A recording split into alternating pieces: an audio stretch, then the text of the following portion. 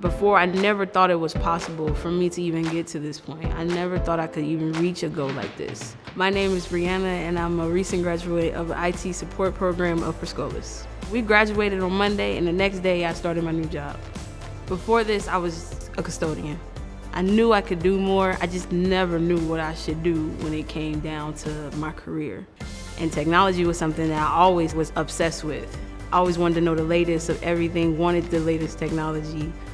I wanted to know the software. I wanted to know behind the computers. I wanted to know the troubleshooting of the computers.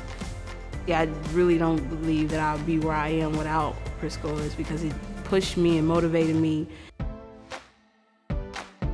SkillUp helped me pay my rent a month early just so I didn't have to worry about it the next month. It really helped me out a lot. So I'm really grateful for SkillUp for that. Hard work is in everything I do. I'm very driven, I'm very motivated.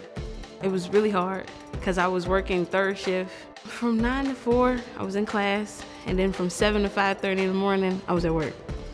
It was the people around me motivating me to do better. My family had called me every day, how was class? Do you have any homework? And there was times where I'm like, I don't want to do this. I'm done. I just, this is too much for me. And they'd be like, no, you wanted to do this. You wanted to change. Now do it my teacher, Mr. Del Rey.